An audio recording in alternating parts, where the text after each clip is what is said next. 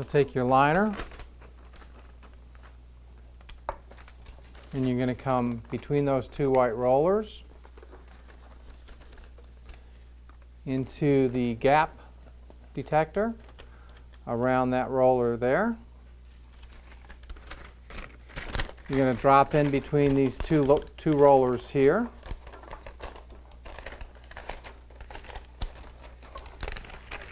You're going to come around between this roller and the separating plate through there. You're going to wrap back underneath the separator plate. You're going to come around this back roller up over the white roller. Then you're going to feed down in front of the black roller. Then you're going to go between the black knurled roller and the blue roller. You'll go around the blue roller, and then you kind of come in between the black roller and the blue roller to your take-up spool.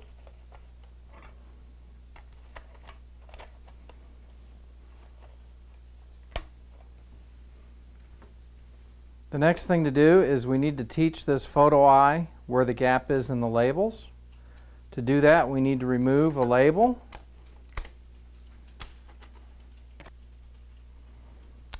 Then we need to press the normal button for three seconds. Then release it. And the photo eye should now be taught. The off-on switch of the unit is right there.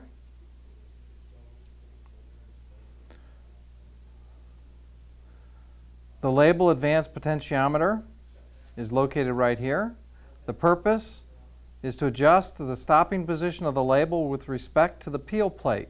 By rotating the potentiometer towards the positive, the applicator will dispense more of the label, and by rotating towards the negative, the applicator will dispense less of the label. With the setting of the potentiometer all the way to the left, counterclockwise, the sensor will stop right at the gap.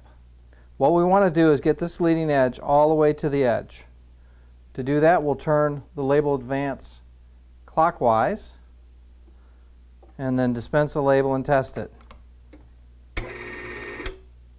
And you see it's here now, so we'll turn it some more.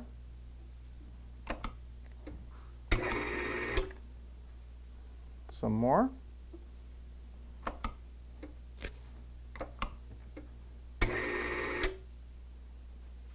Okay, once you get it set, pull this little lever forward and that'll lock the knob so it won't move.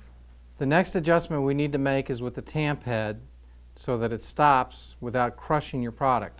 That's done through loosening up this collar right here and then manually bringing the head down as far as it needs to travel to stamp the product.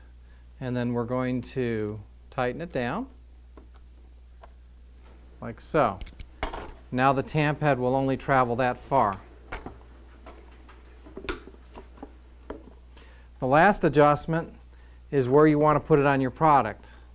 And so you have these guides here that we can tighten up so that every time the product gets put in,